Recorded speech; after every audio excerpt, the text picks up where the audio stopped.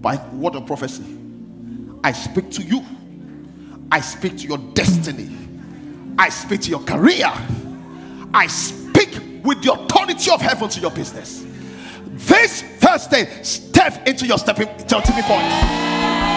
Step into your tipping point. Listen to me.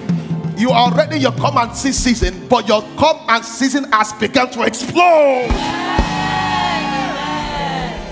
That thing called stagnation is no longer a label used for you again.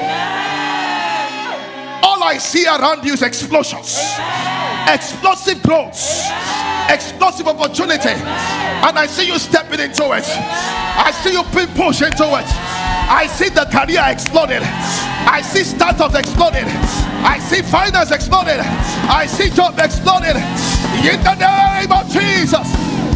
Someone said, How is it? By the the Holy Ghost. I said, By the power of the Holy Ghost. I said, By the power of the Holy Ghost. Every negative label on your life, your business, your finance, on your health, on your marriage, on your job, it's wiped out completely.